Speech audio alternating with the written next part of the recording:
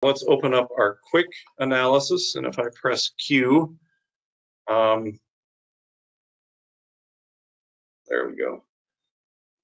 It will go ahead and bring up a series of quick results. So we have our, our table of blow counts and blows per meter.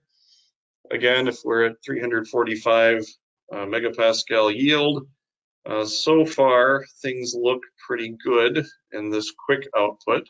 174 for the Junttan, 246 megapascal for the IHC, and 207 uh, megapascal in compression stress for the diesel hammer 8. Um, the Junttan is giving us a little bit of a high blow count at 30, between 33 uh, and 3700. Uh, so we might have to consider uh, that that one is a tad on the small side. Um, we're getting reasonable ones for that. I can also right click and change to a quick results graph. And that gives us a, a sense of how that works.